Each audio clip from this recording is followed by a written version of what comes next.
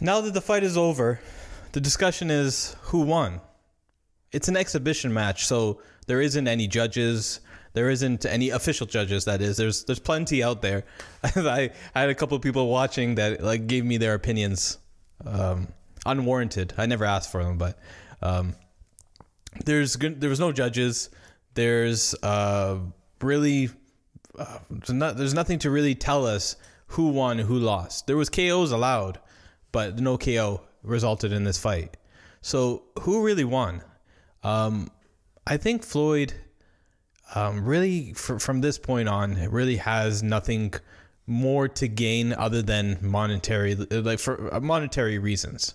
Um, he's not going to go into um, any fight in the future against a top contender. He's not knocking on Can- Canelo's door. He's not knocking on Billy Joe Saunders, Lomachenko. He's not going to face those guys ever again. Why? Because he's just he's just too old. It's it's over. Right? He's been fighting it since he's a child, and and he's just not able to to fight those those guys anymore. So other than monetary, Floyd Mayweather is just gaining nothing. On the flip side, Logan Paul, what does he gain? I think honestly, I think he won the fight. Even though there's no winners and no losers, he won the fight. He went in there against the greatest of all time, arguably the greatest of all time, and didn't get knocked out. I, I'm pretty sure the majority of the people that were picking Floyd Mayweather to win never said, "Oh, he's gonna go the the full distance." He they never said, "Hey, uh, Floyd's gonna go in there. He's gonna hit him majority of the time, but uh, Logan Paul is gonna survive and it's gonna go eight rounds." Uh, most people are saying that he's gonna get knocked out, similar to what happened to to Conor McGregor. Um, Logan Paul now can go on to any next uh, any endeavor now, right? He can go do boxing again. He can go do MMA. He can go do anything he wants. Maybe some more Pokemon packs. Who knows, right? And and he can do all that saying he went eight rounds with Floyd Mayweather.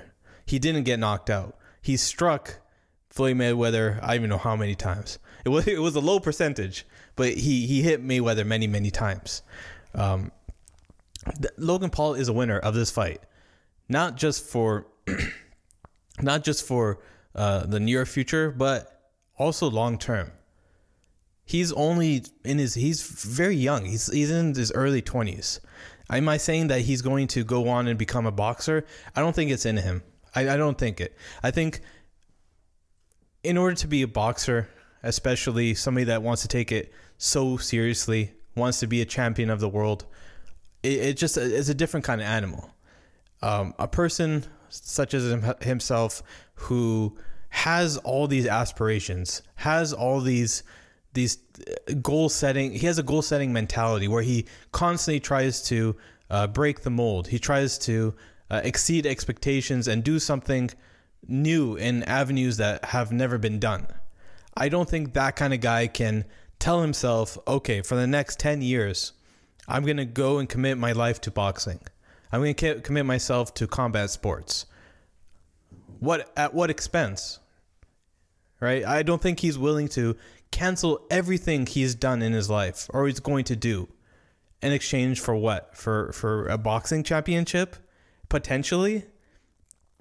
It it doesn't make sense. I don't think. I think he's going to squeeze this for all he can, use his athletic uh, abilities that he has and and just break records. I, I, I don't know what else he could do other than uh, fighting Floyd Mayweather.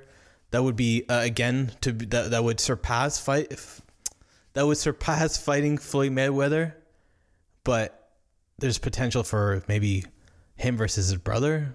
I, I that's interesting, but uh, then again, like who who wants to see brothers fight each other?